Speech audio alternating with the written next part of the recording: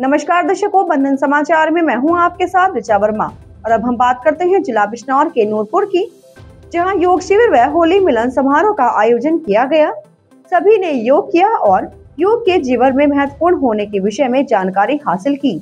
आपको बता दें कि महिला पतंजलि योग समिति बिजनौर की जिला अध्यक्ष अंजू अरोड़ा के नेतृत्व में सरस्वती विद्या मंदिर नूरपुर में योग शिविर एवं होली मिलन समारोह का आयोजन किया गया। इस अवसर पर योग शिविर में अंजू अरोड़ा की टीम ने, योग हमारे जीवन में कितने महत्वपूर्ण है। योग निरोग रखते हैं। योग करने के नियम को बताया एवं लोगों को योग सिखाया।